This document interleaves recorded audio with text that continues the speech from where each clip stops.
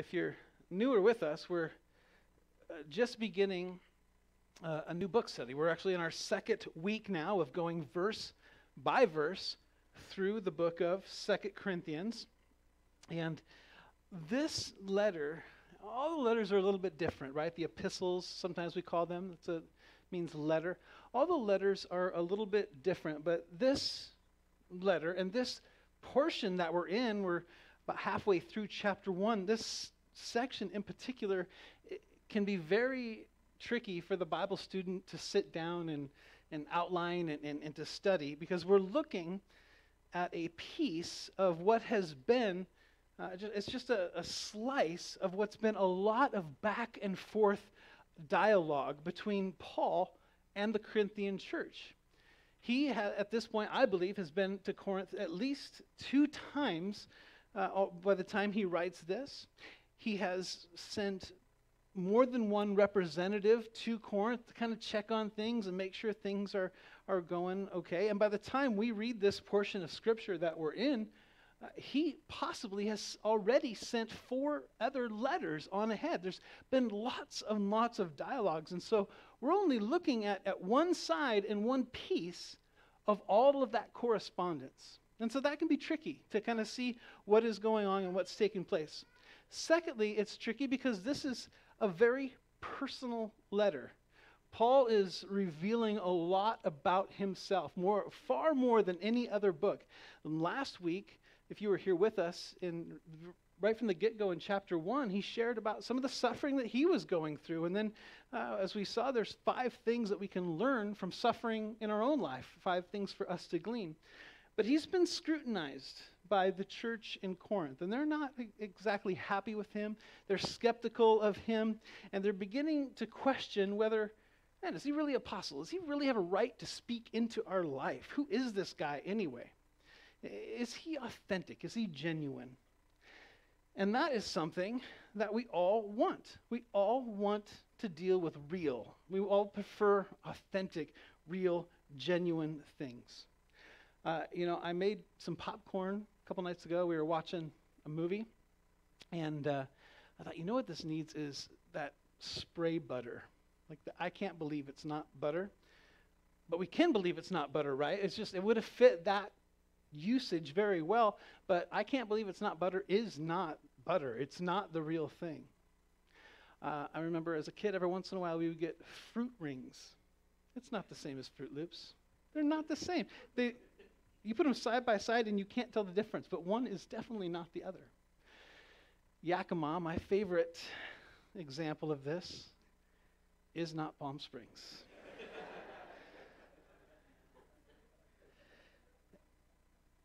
we, uh, I just, maybe you guys saw this. This was in the New York Post. Here's a, the guy, I should have had it up so you can put it on the screen, but this guy, he's in a Nissan Sentra, and I don't know was in Long Island. I'm not sure what his goal was, but he had like an air horn and emergency lights in his neon Sentra, and he pulled over a van. The van was full of detectives that were on their way to a to a what's the word I'm looking for? A sting. Yeah, they're they're gonna. It was full of people. So it was an imitation cop. He wasn't the, the real thing. We like real things. We like authentic. Genuine is always better than phony.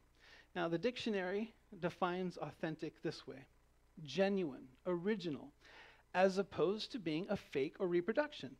Not false or copied, but verified, supported by unquestionable evidence.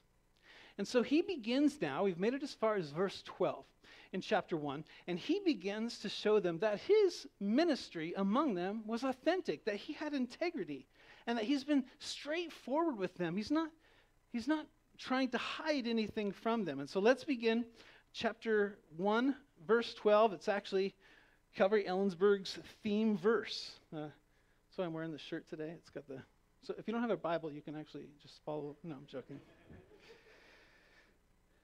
For our boasting is this Paul writes, the testimony of our conscience that we conducted ourselves in the world in simplicity, in godly sincerity, not with fleshly wisdom, but by the grace of God. This, he says, is how we were everywhere. Every person that we come across with, this is how we're treating them. We're treating them this way. But then he adds, for emphasis, he adds, and more abundantly towards you. Hey, we treat everybody with, with these things in mind.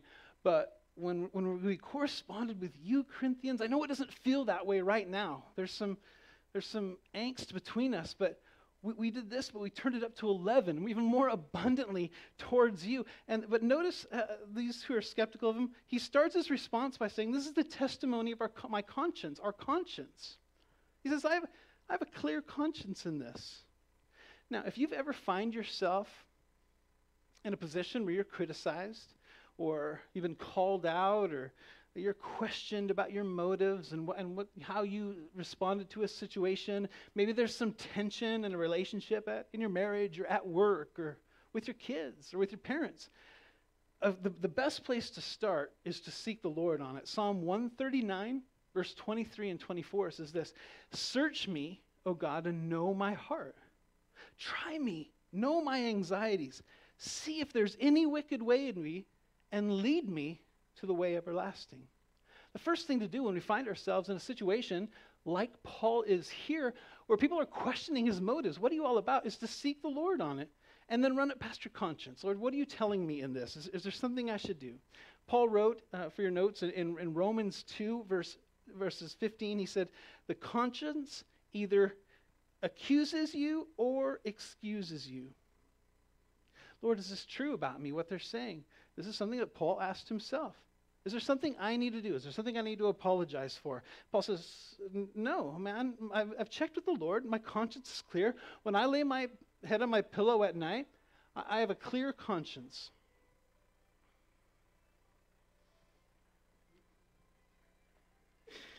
He goes on.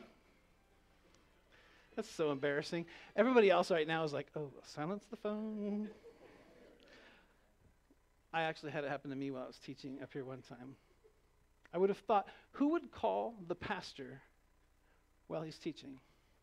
Somebody. So, what we're going to see here, now that he says, My conscience is clear, and what he's going to do, again, I encourage you to take notes, he's going to give us several marks of genuine ministry. And the first one, he says, The testimony of our conscience, we conducted ourselves in the world in simplicity. The first mark of genuine ministry is simply simplicity. It could be translated, and your, your Bible probably has a footnote that says this. It can be translated holiness or moral purity, but the word simply means there's no duplicity uh, there's, it's not two faced. There's no hypocrisy. It's almost the opposite of hypocrisy, is what this word means. It's not tainted. There's no hidden agenda. There's no, uh, you know, there's no ulterior motives going on. it, it is what it is, and it's, it's authentic. And Paul says, I, I, wasn't one way in private and then another way with you. I, I've lived and, and I've acted towards you exactly how I am. I'm the real me. And this is important. Like we, we want to we want to go through and we want to look at these marks of genuine ministry, and we want to apply it to our own life, right? Because we're all ministers. We all have a ministry. And the first thing he says here is got to be real. And that's so important. The world is looking for real people. and we live at a time with social media and Instagram and Twitter and all that, where real is a long ways from, from what people are actually experiencing. It is harder and harder to find things that are real. It's not in Hollywood, it's not in the music industry, it, it's, it's not in politics. Even our news is fake now, right? And you know what's crazy? Anybody seen the trailer for Gemini Man? Will Smith? There's some Will Smith fans in here, right? I'll admit it, I'm a Will Smith fan. Okay. He's got a movie coming out called Gemini Man, where he's, he's fighting a digital him that's 30 years younger. Even the actors, now, literally, the actors aren't real. We, people, people are looking for real. I mean, that's cool and that's fascinating. There's another one coming out with Al Pacino, who's 79 years old, where he's going to play a young guy because they can digitally alter him to make him not real. It's crazy. But if people are looking for realness, they have to find it here. And by here, I don't mean within these four walls, although they should, but I mean here within the church. We're the church. We have to be real people. And as a church, as a ministry, ministering to people, we're not trying to manipulate. We're not trying to trick people into, into the door. I know I've shared this a couple times before that this church back home where I'm from, uh, they would give gas cards as a door prize to come in. Hey, this Sunday, you could win 100 bucks in gas. Let's, tr- let's just take that mindset and put it in the first century. Do you think, just for a second, that Paul ever said, hey, come to our meeting and win a bale of hay? no. No, you're drawing them for the wrong reasons. There's a, there's a phrase around Calvary Chapels that's great. It says, simply teaching the Bible simply. That's, that's all it is. That's what we want to do. Or uh, some of you guys know Pastor Dallas down in Calvary Chapel Toppenish. He's got a great little catchphrase that he uses. And it says, We are studying God's word from cover to cover to discover the world's greatest lover. I love it, man. It's just, it's simple. There's nothing uh, out there that, that we're trying to hide or do. It's just simple. And if we want to have an impacting witness in our family, with our kids, at work, with fellow students, coworkers, we have to be real. We have to be authentic. We just don't put on airs. Don't try to be something you're not. We mess up and we daily experience forgiveness in our life, right, Christians? And so we just share that. Hey, yeah, I mess up too, man, but, I, but I'm forgiven. God forgives. And, and, but there's hope found in Him. And, and we just share in realness what's going on. It's just that simple.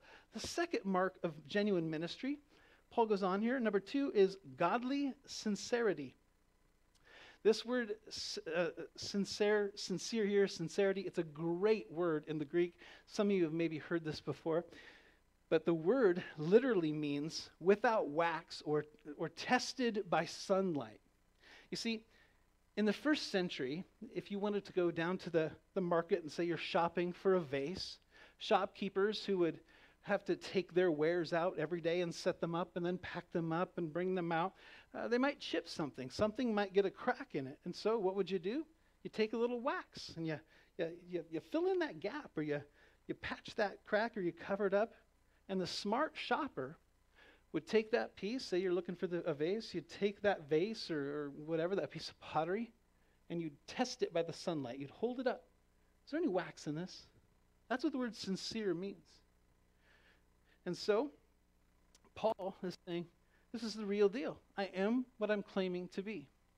Now, this reminded me of a funny story uh, from my childhood. Well, I didn't know it was funny until about like, like two years ago. So, about the time I was born, uh, so my mom would have been 28, I think, a Bible salesman came around on foot to the front door, lugging around this huge Bible. Look at this thing. You want to be holy when you go to church? Want people like to. I like big Bibles and I don't care. Look at that thing. Can you imagine? Everybody would be impressed with this, right? And my mom was impressed. Like that's that's a cool family Bible. And like I said, it's it's it's aged now, you know.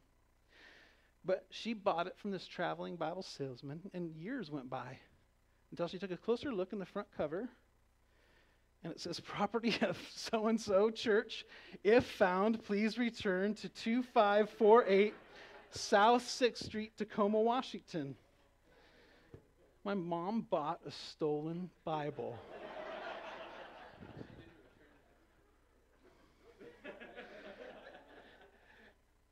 I called her today, just this morning. I'm like, how, how long does that, even before I was born? I mean, it's been a long time. And so we are talking about it.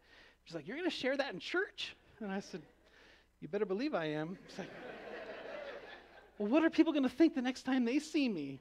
That you buy stolen Bibles. That's what they're going to think. Mom should have held it up to the sunlight and seen what it said on the front page. It wasn't sincere. Look across, look across the page here to 2 Corinthians 2 17. Paul kind of expands on this idea of sincerity and, and just this genuineness in the ministry.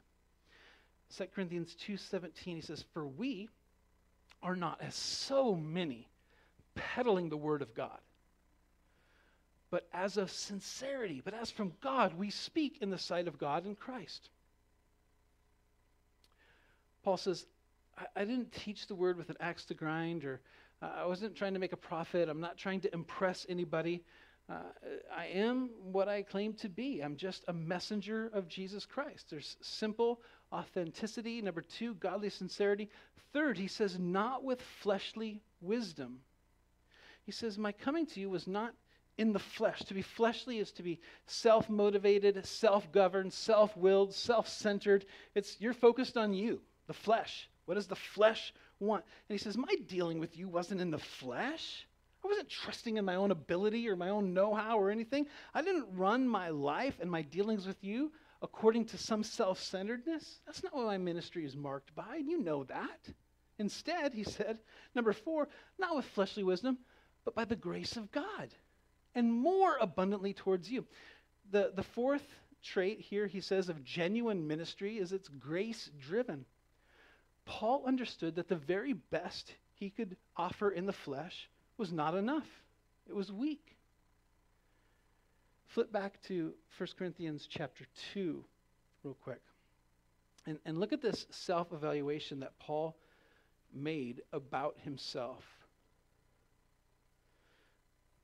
He says here in 2 Corinthians, I didn't come with fleshly wisdom. That's exactly what he says in 1 Corinthians 2. He says, I, brethren, when I came to you, I didn't come to you with excellence of speech or wisdom, declaring to you the testimony of God. For I determined not to know anything among you except Jesus Christ and Him crucified. I was with you in weakness, in fear, and in much trembling. And my speech and my preaching were not with persuasive words of human wisdom, but in demonstration of the Spirit and of power, that your faith should not be or rest in the wisdom of men, but in the power of God. Can you imagine that on a resume? Tell us about yourself. Well, I'm weak, I'm trembling, I'm not very good with words.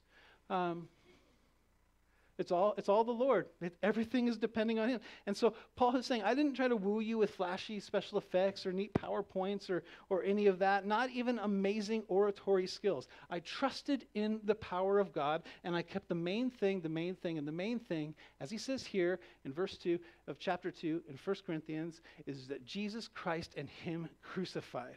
That's where our hope comes from. It's not because we're so talented. It's not because we're so good. It's all because God is so good. Now, flip back over to, uh, just a little bit to the left of 2 Corinthians. Look at chapter 15 of 1 Corinthians.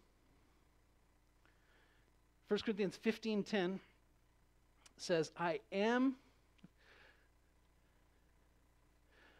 Paul says, I am what I am by the grace of God. We've heard that before, but what an amazing incredible thing to say about your own life. You just let that sink in for a minute. The product of my life, I am what I am, cannot be separated from what God's grace has done in my life. It's inseparable how I've interacted with you, said, how I've behaved towards you, it's inseparable. I cannot separate it from what God has done in my own life. His undeserved, unmerited, unearned affection and favor on my life, it's marked me. It's marked who I am. And so I'm not trying to impress you. I'm not trying to, to be showy or flashy or put on a show. It's just grace. It's God's grace in me that I want to share with you.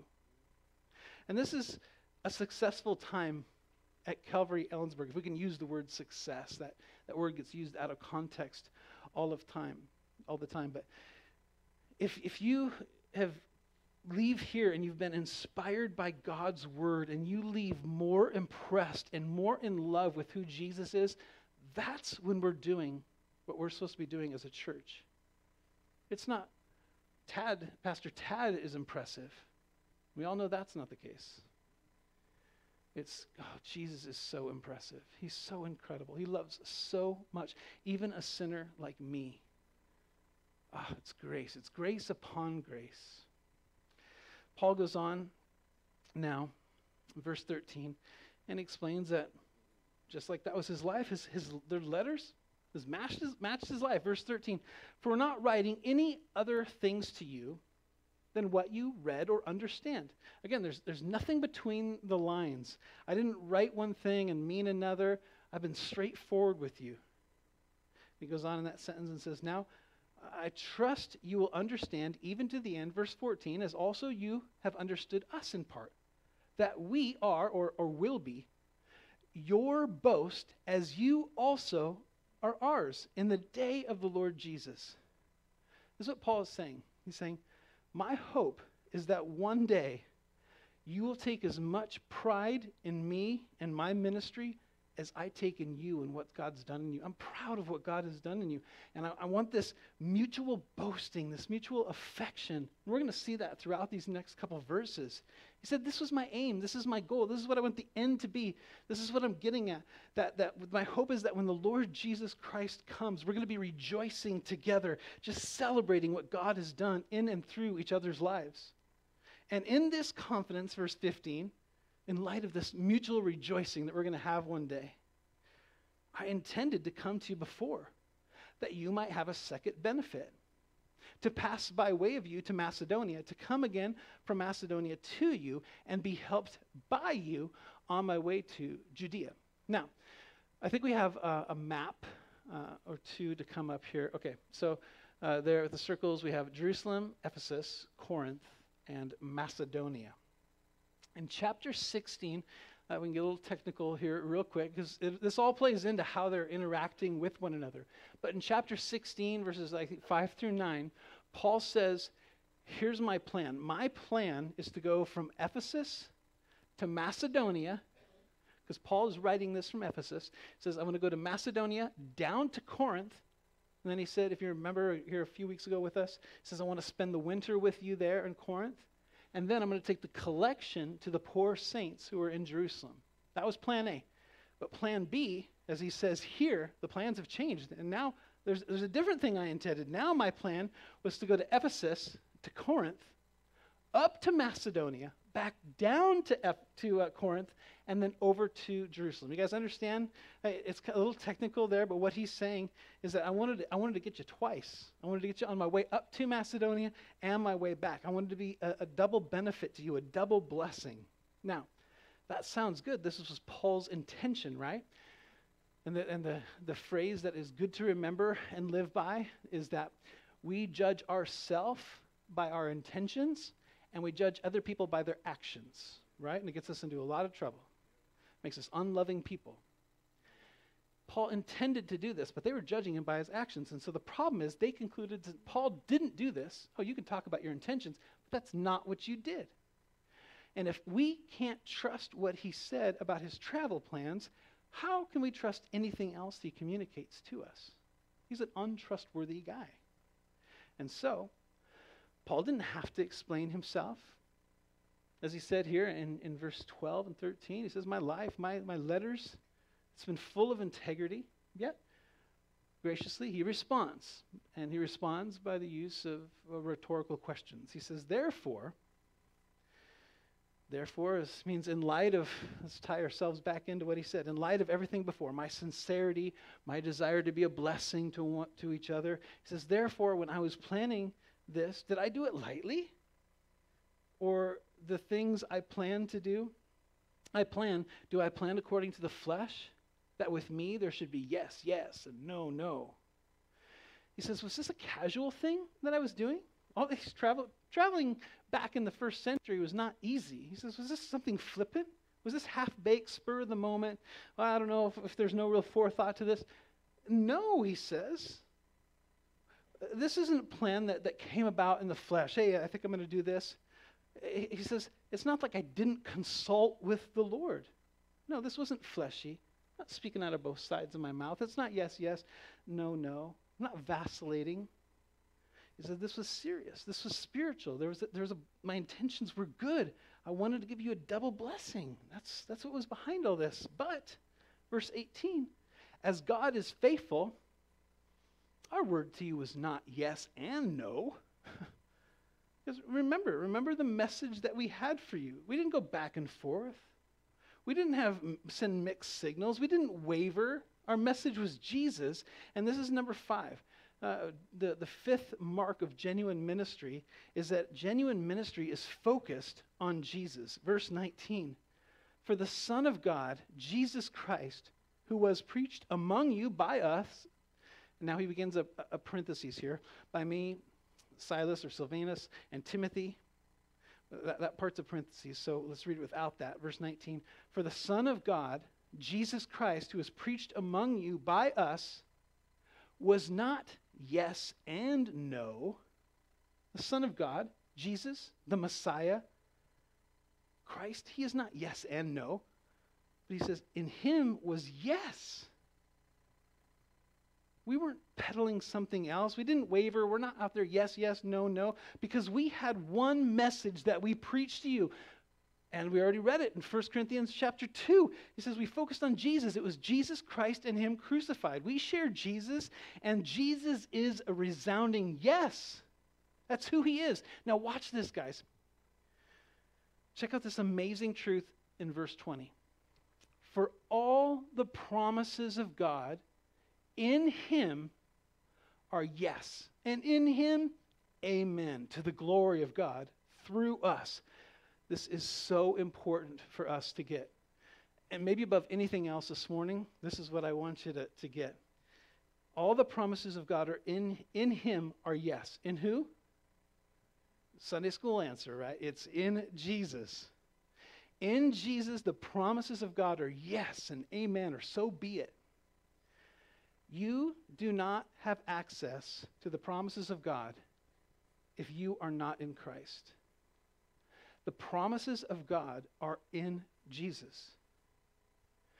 In the Old Covenant, the Old Testament, most of the promises, there's a lot of promises in the Old Testament, and most all of them were conditional. Over and over again, we're told that if we do this and if we do that, then God will do this. But in Jesus, the Apostle Paul says here, all the promises are not if then, they're not conditional, but they're yes and amen. Jesus has fulfilled all the conditions of those promises. He's fulfilled all the ifs that there are in all the promises. And since you and I, as believers, have been placed in Jesus Christ, we get all the thens. Isn't that amazing? He has done all of the work for us, and so we get all the benefit. We get all the promises. This is a great deal. Since Jesus f- fulfilled all the ifs of every promise, we get all the thens. The blessings, the promises of God are in Jesus. If you are here this morning and you need peace that the Bible promises, where is it? In Jesus. If you need joy, where is it? Jesus said, I'm the way, the truth, and the life. It's all in Him.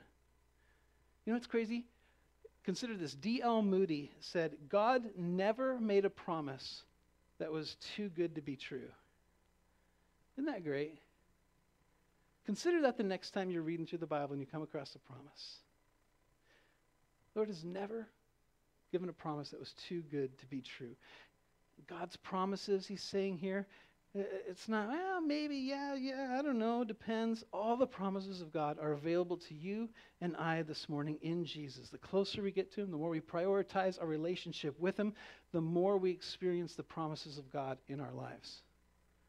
All the promises of God are in Him, are yes, and in Him, amen, to the glory of God through us. What a great verse. Verse 21, number six, genuine ministry is spirit filled. Now, he who establishes or confirms us with you in Christ and has anointed us is God, who also has sealed us and given us his Spirit himself in our hearts as a guarantee. And I, I believe that what he's saying here is that even though our plans don't always work out the way we want, right? And we all know that to be true. He, he said, even though that's the case, the plans and promises of God always do. He always hits his target. There's no promise that the Lord makes that doesn't reach its target. And so when God gives his followers his Holy Spirit, we know he's going to follow through on his promises. He's not going to give us his Holy Spirit and then pull up at the end and not, not have us reach the goal. And he says, uh, He has sealed us and given us a spirit. A seal, and most of you guys know this, it was an impression that was made in, in hot wax by usually like a signet ring, right? And that seal was a mark of ownership, number one. It was a proof that the document was genuine.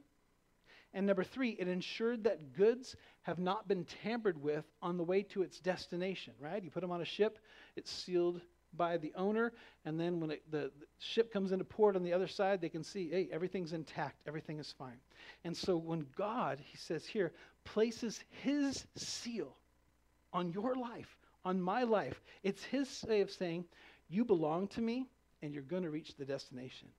If you have the Spirit, there's no question about that. Now, he kind of picks up verse 23. Uh, he kind of went off on a tangent. You know, you and I, if we had travel plans that didn't work out the way we thought they would, I would just say, hey, man, I'm sorry, it didn't work out, you know, had this. But with Paul, there's all sorts of theology. He's just explaining why I didn't get there, you know, and there's a theology. And so now he kind of comes back and says, uh, I did make serious intentional plans to come and see you. I wanted to provide you a double blessing. Moreover, verse 23, I call God as witness against my soul. Says, I promise you, like, like God is my witness, that to spare you, I came no more to Corinth. I intended to see it twice, but I, I came no more. Verse 24, not that we have dominion over your faith, but we are fellow workers for your joy, for by faith you stand. We see another couple marks of genuine ministry here. Paul says, first, not that we have dominion over your faith. Number seven, being in ministry does not equate to being in control. It's, it's not about dominion or dominating. I'm going to tell you what to do. It's not forcing. Ministry isn't about controlling others. He says it's actually about serving others. Not that we have dominion, not that we dominate you, but we're fellow workers or laborers or, or servants for your joy. This is the eighth mark of ministry here. Ministry is working for joy. And this is such an important part of what it means to be a leader in church, a leader in ministry, a leader in your home. It's to be a worker for the joy of others. Now, in 2019, we need to make an important distinction and remind ourselves that joy and happiness are not the same thing. We're not workers, parents, ministry leaders. We're not workers for their happiness. Happiness is feeling based. Happiness depends on environment, what happens to you. It depends on, on, on finding satisfaction in the material world. But chasing pleasure will leave you with nothing. It won't even leave you with the pleasure when it's all said and done. The only thing you're going to gain by walking down further and further down that road of, of feeding flesh and pleasure is, is more emptiness and guilt and shame. Remember the prodigal? Luke 15, the prodigal, man, he left his, his family he went out, and where did he find himself as a good Jewish boy? He found himself in a pig pen, eating pig slop. Chasing after the material will always take you farther than you intended to go and doing things you never thought you would do. Every single time. And so Paul says, I'm not working to make you guys feel happy. I'm a worker for your joy because joy is lasting. Joy is beyond emotions, it's beyond your situation, it's beyond your environment. It's a sense of well being despite your circumstances. Isn't that what we want? Isn't that what we're after? Read Philippians. I love the book of Philippians. Philippians was written while Paul was in, in, in prison, and yet it's called the letter of joy.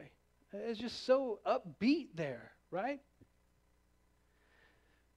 And can we agree? I'm taking a little bit longer on this point because all these points of ministry, and, and as I said before, we're ministers. We're ministers in our community. We're missionaries. We're either missionaries or mission field. And can we agree that our city, our culture, our county needs an infusion of joy? We live in the wealthiest, yet saddest, and most depressed society in the world. Isn't that crazy? It's because we tend to focus on all the things that joy has nothing to do with. We focus on circumstances, on environment, on feelings, and emotions. Our church has had the chance to go on, on a lot of mission trips and to some third world countries. And uh, this is one of the things that, if you've been a, on a mission trip to a third world country, that you really have to process through and think through. Uh, a couple years ago, when we were in Haiti, it, it got, a, got brought up more than once. Haiti is one of the poorest countries in the world. And yet, the, the team members found that they have so much less, but they had more joy. than the people, we, we think of back home, back in the States, back in Kittitas County, people have so much, but there's less joy. Here, people have less things, but more joy. The poor, hungry, no real clothes, but they're beaming. Versus well to do, full belly, closet packed, yet they're a grumpy pessimist. And Paul's desire in his ministering to them is that joy should mark this. I, I, want, I want it to be joy filled. It should be a hallmark of when believers gather together. Uh, there's a great missionary by the name of C.T. Studd who got the pretty great name, I got to admit. He was a missionary to China and later into inland Africa. And he tells the story of former cannibals who were saved. And they had came to hear him teach one day. And as they headed back into their, their communities, into the jungles, as long as he could hear them, he heard them sing this chorus over and over and over again until it faded out in the distance. And it was, I love Jesus Christ. Jesus loves me. And nothing else in the world matters. So abounding joy possesses me. Hallelujah. And it would repeat, I love Jesus Christ. Jesus loves me. And nothing else in the world matters. So abounding joy possesses me. This is where Paul wants to bring the Corinthians. And it's a challenge because, as we've said before, they live in a culture very similar to our own. But this is who, if we're involved in ministry, we should be growing people to. And ultimately, this joy is found in bringing someone to trust and faith in God. He says here, workers for your joy, for by faith you stand. Paul reminds the Corinthians, he reminds us that working for joy ultimately means bringing someone to trust in the Lord. You can't really have joy. You can't have this peace that passes understanding, this, this sense of well being despite your circumstances, unless you know firsthand that the Lord's got you, that you can trust in Him. And so the joy that, that is found in trusting the Lord with your life, this, this walking in the Spirit and living according to His promises, it's found in trusting in God. Now, one more thing before we, we head on here. Uh, we see this so clearly. If you were here for our study in 1 Corinthians, Paul says, I'm a worker for your joy. But what is 1 Corinthians? What was that book all about? It was about correction. it was about telling him, you got to get right. Sometimes being a worker for your joy, for others' joy, parents, means confrontation. Paul confronted them on the very things that they thought made them feel happy, but would never bring them, like the prodigal, to where they wanted to be. And so, Paul didn't want to have to go through that again. He, he didn't want to confront them. Chapter 2, just a couple more verses here. But I determined this within myself. I, I didn't want to have that time of tension and correction and rebuke again. And so I determined this within myself that I would not come again to you in sorrow. For if I make you sorrowful, then who is he who makes me glad but the one who is made sorrowful by me? And I, I want our time together to be reciprocal. I want it to be to just be joy, rejoicing again over one another. Verse 3 And I wrote this very thing to you, lest when I come to you, I should have sorrow over those from whom I ought to have joy, having confidence in you all, that my joy is the joy of you all. Again, simply, he's just saying, I, I want us to have this relationship be mutually joyful. And I didn't know if that would happen if I saw you again. I, I was afraid it would turn into correction. And so I just wanted to see you respond properly to the rebuke. I wanted, I wanted to see some repentance. I wanted to see you grow in your relationship with the Lord. I wanted to see joy return to your life. So, verse 4, out of much afflictions, I didn't come and see you. This is why. So, out of much affliction and anguish of heart, I wrote to you. Instead of visit, I wrote to you with many tears. Not that you should be grieved, but that you might know the love which I have so abundantly for you. Last identifier, mark of genuine ministry, is abundant love. And I'll just tell you right now, as we continue to go through 2 Corinthians, you can just keep this list going because there's lots of lessons on ministry.